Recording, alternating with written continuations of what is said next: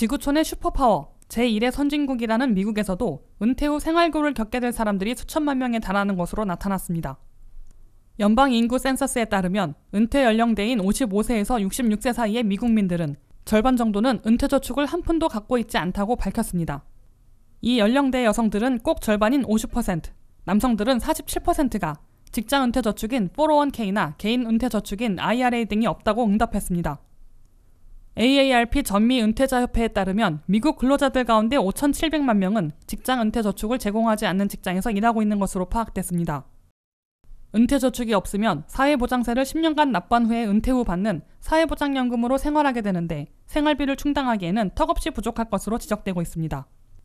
사회보장연금은 2023년 1월부터 물가 급 등을 반영해 전년보다 8.7%나 대폭 올랐으나 한 달에 평균으로 1,827달러를 받고 있어 10% 이상 급등해 있는 주거비와 생활필수품 사기에도 태부족한 것으로 간주되고 있습니다.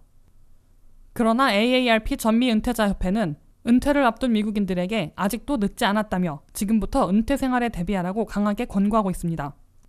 우선 AARP는 기대 수명이 높아지고 건강도 증진됐기 때문에 최소한 70세까지는 일하기를 권했습니다. 동시에 생활비는 가능하면 최대한 줄여보라고 밝혔습니다.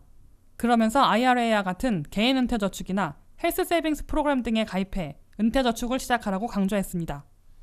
대신에 사회보장연금은 가장 많이 탈 수 있는 70세 이후에 신청해 타기 시작하라고 권했습니다. 개인 은퇴 저축인 IRA 또는 로스 IRA의 경우 부부 중에 한 사람만 근로소득이 있을 때 가입하면 50세 이하는 1년 1인당 6,500달러, 50세 이상이면 1년 1인당 7,500달러씩 불입할 수 있습니다. WKTV 뉴스 안혜련입니다.